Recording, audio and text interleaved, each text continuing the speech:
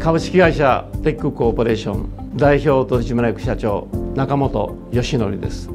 私どもはこの電解水というものに興味を示して、えー、スタートして約もう20年ぐらいで特にあの弊社の電解水システムの他社にない面白いところは酸性水とアルカリ水が同時にできると。ということは酸性水は除菌水アルカリ水は汚れを落とすと。これが一緒にダブルでできるというのが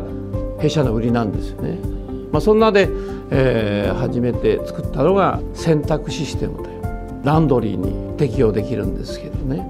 今からもう約20年以上前だと思いますけど母親を引き取るようになりましてよく病院にショートステイで預かっていただいていたという関係で非常にあの病院に興味があった弊社のその時代の本業といいますのは生ごみの原容器たまたまあ広島のある病院でですねえ設置があ決まりまして設置工事をずっと立てやっておりましたらでなんかちょっとこう匂いがするな何だろうかなとガラガラって開けてみると業務用の洗濯機が4台5台。で見てたらですねミニスコップでなんか石炭のことこうとか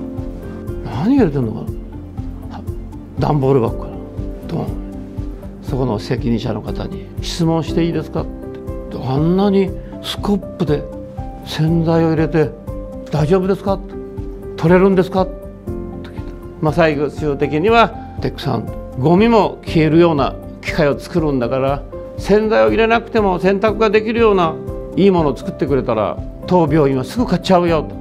そういう病院での洗濯ですから汚れが落ちるのはもう当然のこと洗濯物の除菌ができればいいね匂いも取れなきゃいけないねということで何か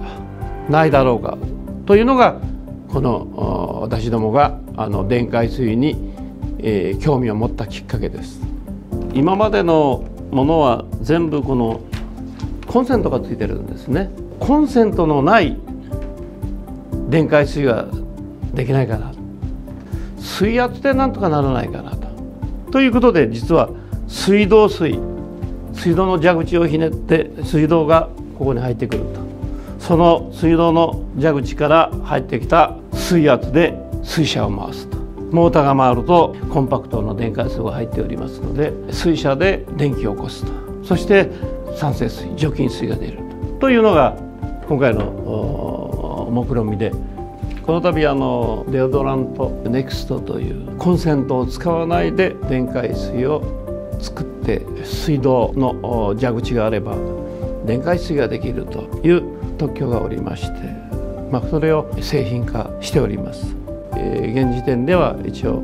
試作機ができておりますのでまたこれがどんどん世の中に復旧するようになってほしいなとこの度、えー、投資をしていただいた皆様にこの優しい水実はあ酸性水の中にファインバブルが入っております除菌水というのをプレゼントさせていただこうと思っておりますので、えー、ぜひこれを使ってみてあこういうものを使ってるんだというのを納得していただいてまたもっともっと進化したものをテックコーポレーションに作ってくれというお願いをしていただければ非常に嬉しいかなと思ってますのでよろしくお願いします。